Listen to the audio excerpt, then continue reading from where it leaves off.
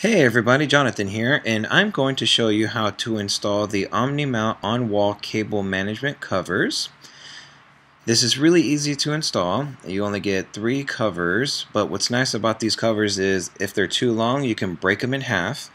Uh, they have like a little seam that you can crack them and then it's a perfect straight line where you break it in half.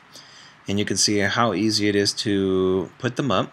Just make sure they're level by using a leveler and all you need to use is just the screws that's provided. You don't need to use any wall anchors or make big holes. It's really easy to put up.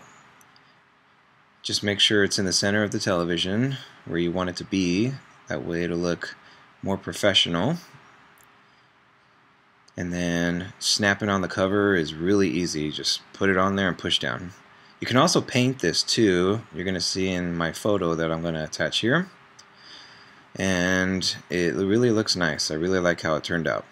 Thanks for watching. I hope you liked this video. Please hit the thumbs up and have a good one.